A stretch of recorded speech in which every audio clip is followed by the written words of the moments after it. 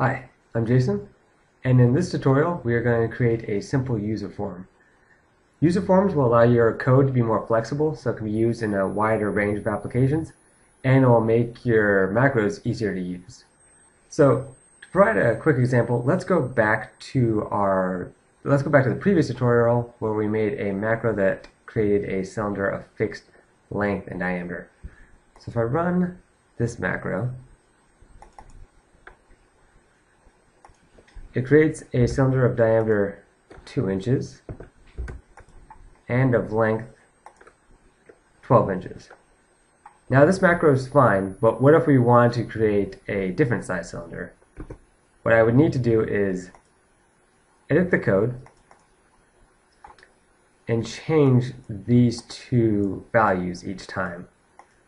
Now that that would be a little bit time consuming. An easier way would be to use a user form that asks the user for the input length and diameter.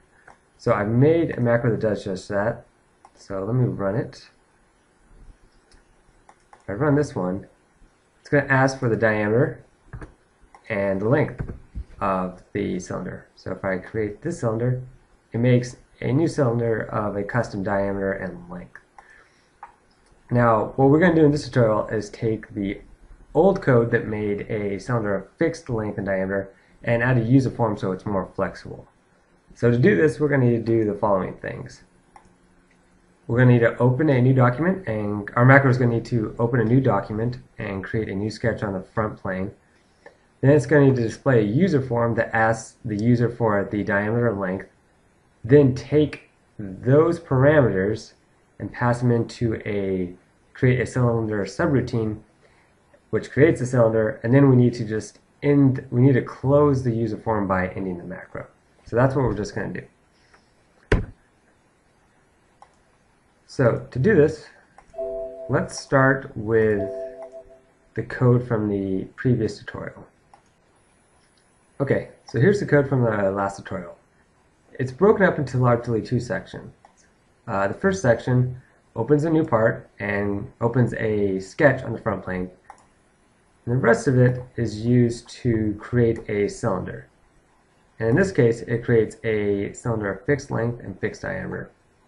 What we need to is to add a user form and change this bottom part of the code to a subroutine that can create a cylinder of a chosen length and diameter. So the first thing we're going to do is create the subroutine. So what I'm going to do is just put a public sub at the top of the code that starts creating the cylinder, and then I'm going to call it create cylinder. So now we have a subroutine that creates a cylinder, and the end sub that was used for the main ends this subroutine. So I need to add another end sub to end this sub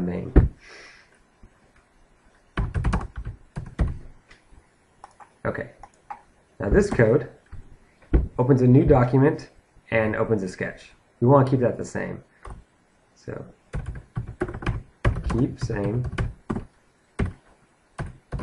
opens a new document and inserts sketch. For this create a, for this create cylinder subroutine, what we need to do is add two parameters for the cylinder's length and diameter. So what we need to do is get rid of these fixed lengths. We don't want to use a fixed length. We want to have a dynamic or uh, user input for the length and uh, diameter. So let's add two parameters to this create cylinder subroutine we'll have input length as double and input diameter as double. And what we're going to do is just simply put the cylinder length equal to the input length and the cylinder diameter equal to the input diameter. So equals input diameter, input length and equals input diameter. And we'll change this comment to set cylinder dimensions equal to into input parameters. Okay. So this code should then should create a cylinder of a given length and diameter. Now what we need to do is create our user form. So to create a user form, go to your project window, right click on modules and say insert user form.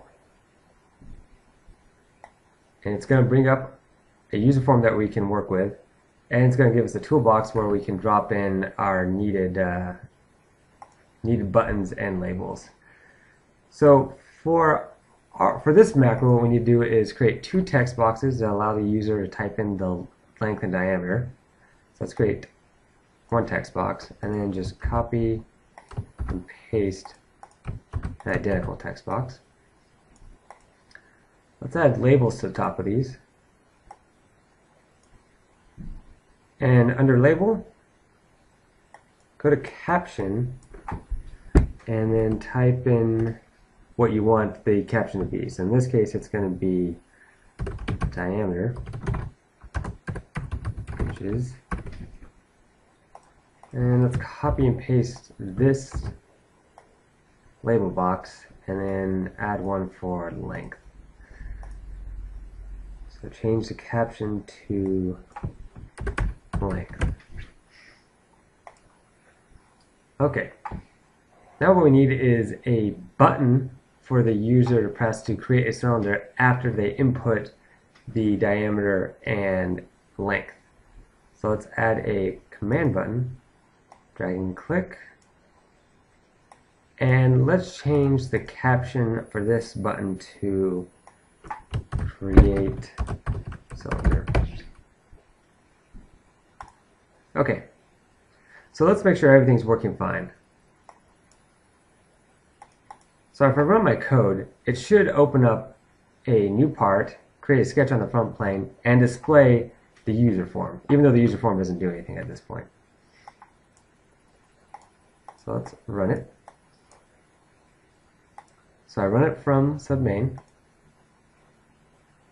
and it opens up a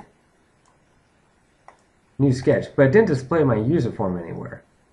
And the reason why is because our user forms are going to be always hidden unless you specify them not to be.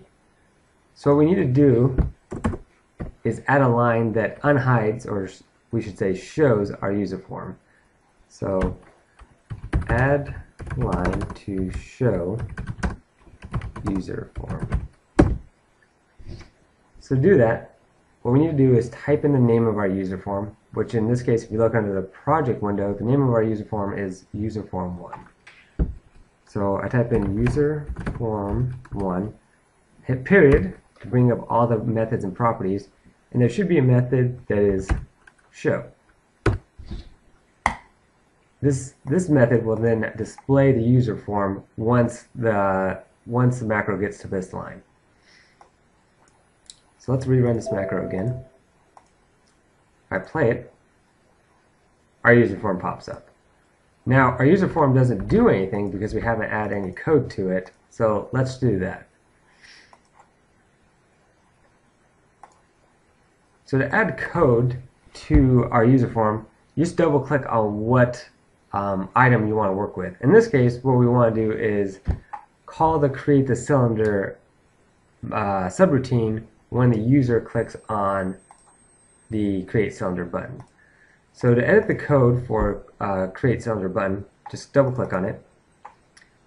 And it's going to generate a subroutine that will be run every time the user clicks on that button. So what we need to do is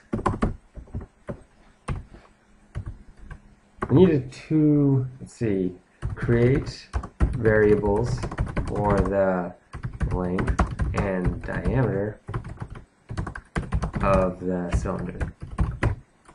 Next thing we need to do is then take the data in the text boxes and set the variables equal to that data. So that would be the diameter and length. And then the last thing this subroutine needs to do is call the create the create cylinder subroutine and input the diameter and length parameters. And the last thing we want to do after this is all done is close the user form and end the macro. Okay, so let's do these four things. So the first thing we need to do is create variables for the length and diameter of the cylinder. So create creating the variables.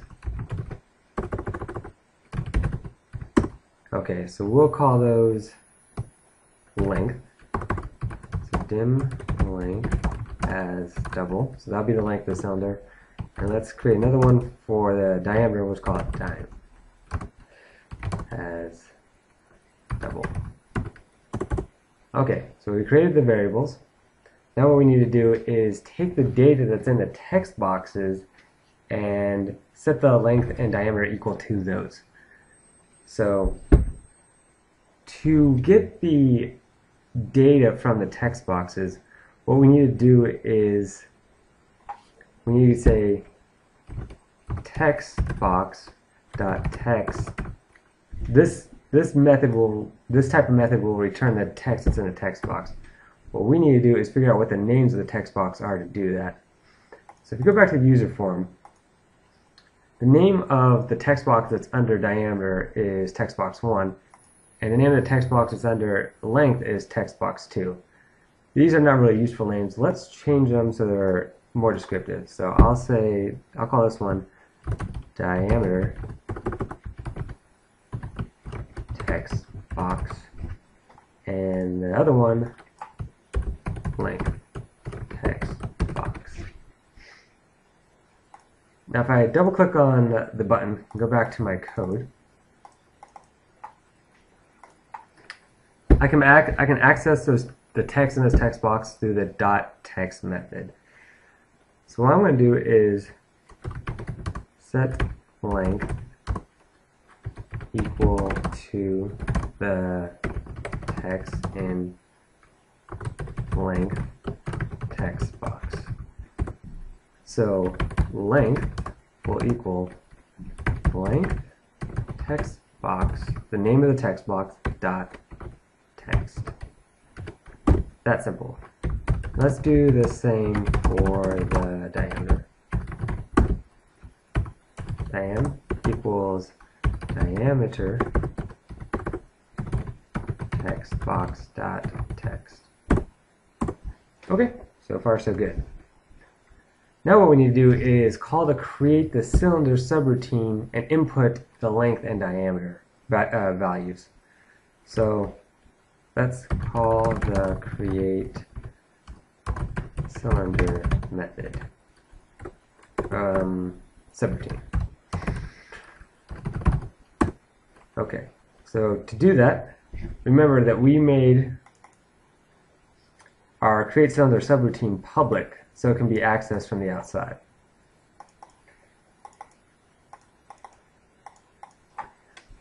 So call create cylinder and input the length and diameter. So that's length and diameter. Okay, if this all works well, this should create a cylinder of a, of a specified length and diameter. So let's run this from our submain, see what happens. So user form pops up. Let's make our diameter 3 inches and our length 3 inches. Click create cylinder. And it seems to uh, create just fine. Now the problem is our user form stays open. We can close it manually by clicking the close button, what we'd like to do is once a cylinder is created, close it. So what we're going to do is go back to our code that's in the create cylinder button and then we're just going to end the whole macro. So end the macro. And once the macro is ended, the window will close. And to do this, just simply type in end. Okay, let's run this macro again.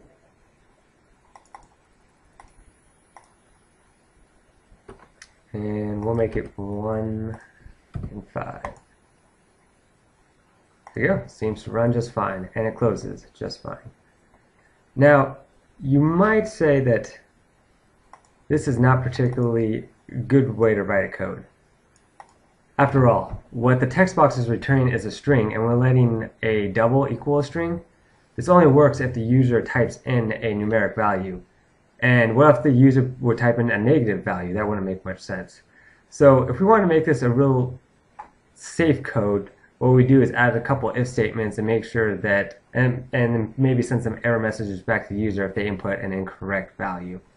But we're, what we're trying to do is just get the point across of how to make a user form and show that it can be useful for working with your code. So that ends this tutorial. Again, if you have any uh, SOLIDWORKS API topics you want me to cover, just leave it in the comments below. Thanks for watching.